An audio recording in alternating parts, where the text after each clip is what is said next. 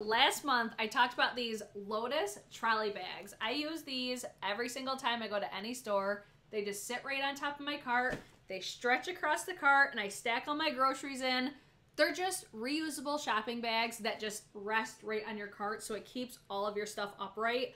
I'm gonna have like probably a demo of me using it just so you have an idea of what it looks like. Every single time I go to the store, somebody's either asking me about them or wondering where I got them, so on and so forth. So the company actually ended up seeing, I think it was like my Instagram post, because I even posted those on Instagram. Like that's how much I love these damn things. These all come in like a group of, you get three of each, and then they all come in a box all together. So it's like a little like produce bag gift set, if you will. I actually ended up buying a set of these for my mom for Christmas because I ended up buying hers first. Like I bought the trolley bags and these first, and then their company sold out. So I ended up getting other brands as well for like the other ladies in my life, you know? And I felt that these were the highest quality of all the ones that I had gotten. So when they offered to send me these, I was just like, hell yeah, yes.